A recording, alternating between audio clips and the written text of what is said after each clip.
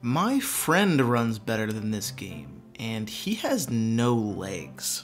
I stubbed my toe on the way to install this game. That was the most enjoyable part of the experience. I get a boner looking at me character, my friend. I want him. Unlike my wife, this game still plays with my balls. My she son said to has stop calling. up non-stop that she only touches I don't Jamal's balls You have now. gave him a fur. Well, I guess the balls in with his red car. Scott. I've been ripped off. People love to hate. I love to hate. It's fun. Often with very popular games. Fortnite sucks. Only kids play it. The PUBG player said. COD sucks. Only boomers play it. The Fortnite player wailed. PUBG sucks. Only PC douchebags play it. Said the COD player above racial obscenities. And none of them were technically wrong.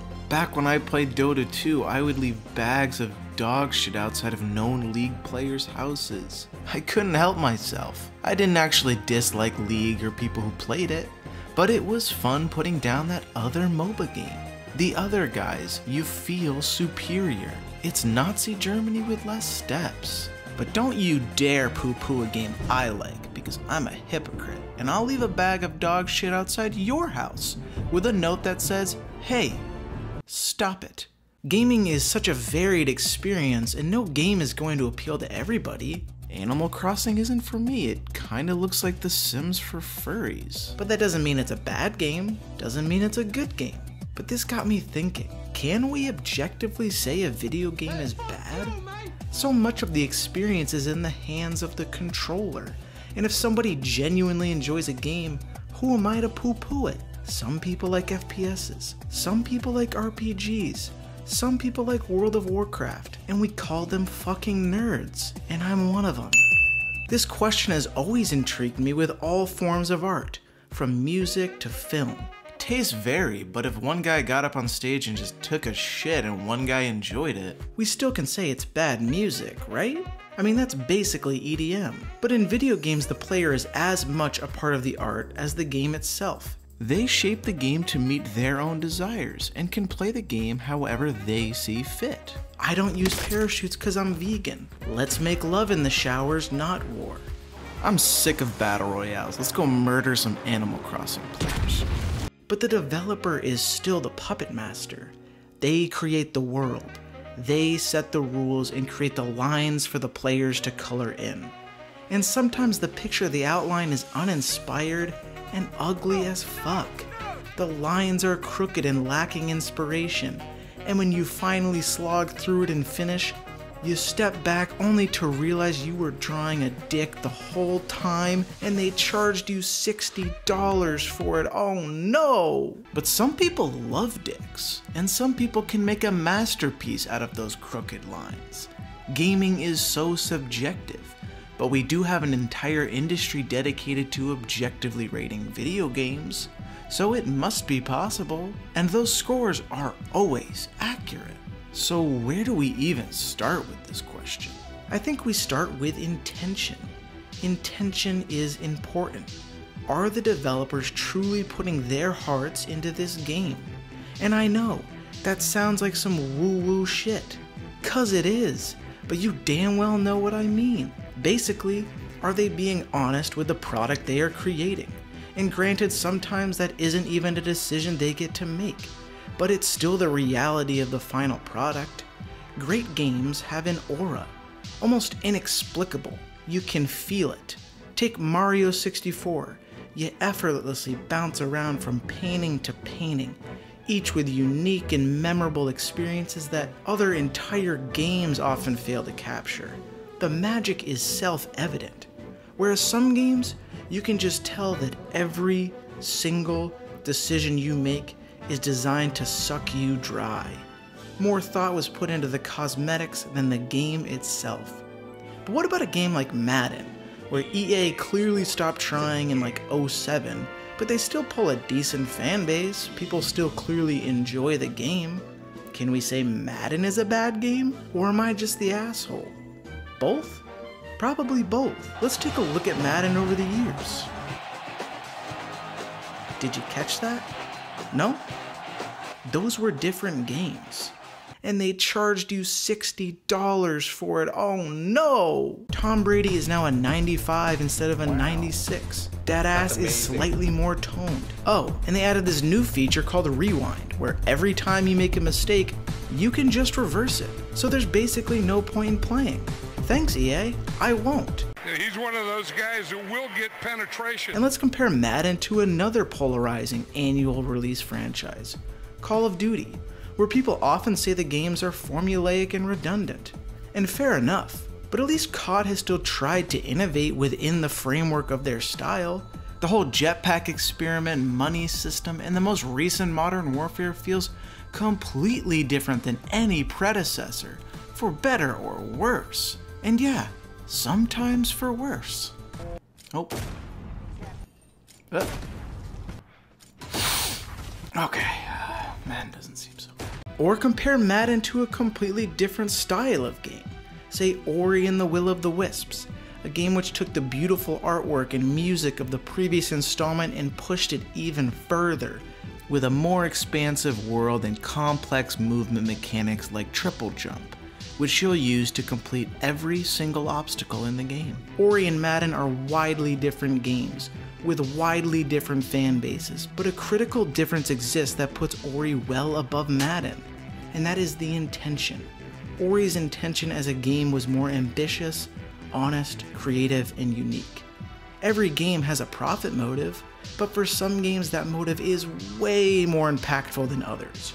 Take the recent Warcraft 3 Reforged debacle and contrast it with its original. Warcraft 3 was an ambitious attempt to merge the widely popular RTS genre with RPG elements, and this risk paid massive dividends. Blizzard could have played it safe and just produced another generic Warcraft RTS, but they were bold and pushed the genre forward, even to the dismay of some. And as a result, it captured many new fans and paved the way for perhaps the greatest modding community of all time don't believe me? What other game can you have sex as General Grievous from Star Wars? Get assaulted by canned bread as Squidward, while having Ronald fucking McDonald from Burger King throw hamburgers at you? Hmm? What game? Fair enough. The possibilities are endless. Flash forward to Activision Blizzard and Warcraft Reforged where you can't even play the game let alone have hot, realistic sex that would make GTA players ooze. Gross. A game should push the entire genre forward through innovation, maybe innovative mechanics, maybe a brilliantly written story with fully fleshed out and real characters. Maybe make the players the developers. What could go wrong? Oh, that's right. That was like 10 seconds ago. These bold decisions make great games and the greatest games transcend the time they emerged. Of all the games that were made 10, 15, 20 years ago, how many do people still genuinely go back and enjoy? Not as many as you'd think. Nostalgia's a hell of a drug. Have you ever gone back and played one of your favorite games from your childhood and then realized, wow, this game fucking sucks? The clearest example of this in my life is when me and the boys would put up our screen blocker and play Medal of Honor European Assault and have the time of our lives. As far as we could tell, it was the single greatest FPS of all time. And then, a few years later, COD Modern Warfare emerged. And for shits and giggles, we decided to try Medal of Honor and relive the glory days. Modern Warfare was really good and fun, but man, Remember how good Medal of Honor was? The hype was real. And then we played. Oh dear God. It's horrible. You can't even sprint. That's such an obvious oversight, EA. Time will reveal all. The best games of the past 10 years are apparent. There is no longer a debate. Time has washed away the superfluous and only the outstanding the truly universal still stand. The reason Call of Duty 4 Modern Warfare was so revolutionary was because it took FPS into a place never thought possible. Custom classes, perks, killstreaks, campers, and toxic lobbies. Take this game back to Blockbuster and quit running up your mama's account, you bitch made ass motherfucker. When a guy tells me to go back to Blockbuster, I immediately ooze, and it's still gross. That's a great game, which is good for FPSs, which is good for gaming. That is why Modern Warfare is one of the greatest games of all time. And Medal of Honor is getting murdered by Joe Pesci in this next scene. Every game is trying to accomplish something different. Some games want to scare you. Some games want to challenge you. Some games want to make you question your own sanity. And what makes each of these games good or bad is whether or not they accomplish those goals. The goals of Ori and the Will of the Wisps is very different than the goals of League of Legends or Counter Strike.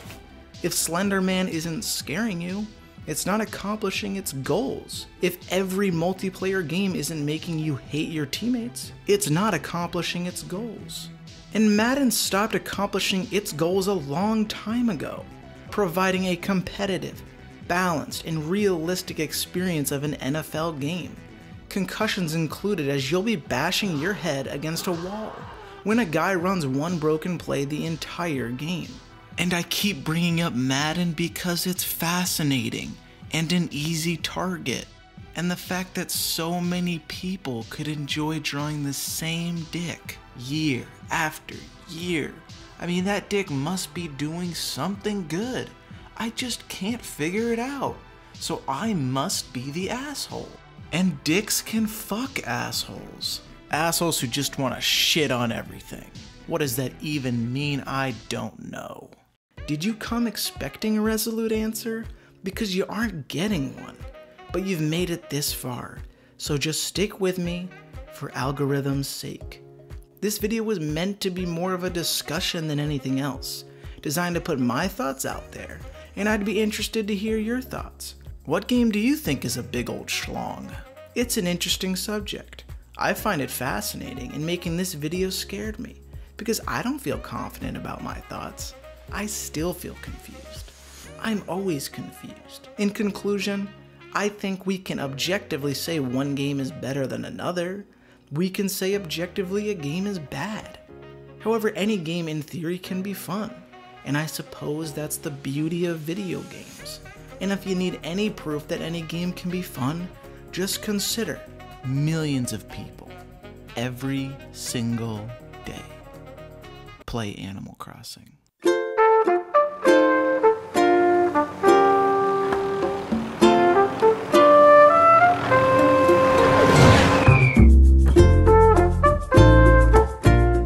That's the video. Please like the video if you enjoyed, and in the comments, let me know how much you hate Fortnite because YouTube likes that kind of stuff. But now it's time to shout out the real heroes, my patrons Manderson, D's Nuts, and Man from the Nam, and all you other patrons. I love you guys. You are the real heroes. Everybody stay safe out there and don't lick random objects in public places, please. It's fucking gross, man. What are you doing? What are you doing? Okay, that's it.